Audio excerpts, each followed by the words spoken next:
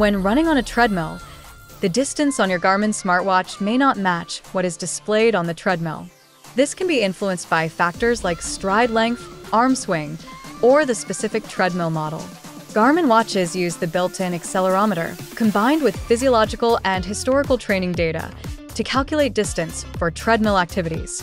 To get the best results, swing your arms naturally while running or walking on the treadmill and avoid holding the handrails, as this interferes with the accelerometer's ability to track arm motion. The watch's accelerometer is automatically calibrated through outdoor runs with GPS, but differences can still occur due to treadmill types, running form, or pace variations between indoor and outdoor activities. How do I calibrate the treadmill distance on my Garmin watch? Important notes. If you are using a FootPod or HRM strap that reports pace and distance, the watch will prioritize that data and will not offer treadmill calibration. Check your owner's manual for instructions on calibrating these sensors. Treadmill calibration will only appear at the end of a treadmill activity, not other activity profiles. Steps for calibration. 1. After completing a treadmill activity, you'll see a calibrate and save option if the required conditions are met. 2. For older models, the watch must record at least 1.5 kilometers, 1 mile.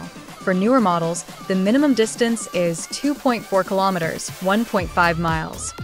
Check your owner's manual for which requirement your device has. 3. Select Calibrate and Save, then manually input the distance reported by the treadmill. This process calibrates the accelerometer for improved distance accuracy during future treadmill runs at similar paces. Note that this calibration does not adjust lap-specific data such as pace, heart rate, or calories recorded during the activity before calibration. Why you may not see the calibration option.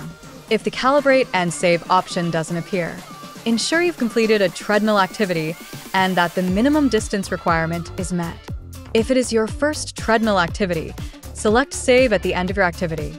Saving will trigger the treadmill calibration option to appear as long as the other requirements have been met. Avoid holding the treadmill rails, as this limits arm motion and results in inaccurate distance tracking. Tips to further improve accuracy. To further improve the accuracy of treadmill distance readings, regularly recording an outdoor run using GPS will further calibrate the accelerometer for indoor run activities. Use the same treadmill for your workouts when possible to maintain consistent calibration. For interval training, alternate with outdoor interval runs using GPS to better align the accelerometer's performance with your pace changes. Thank you for watching.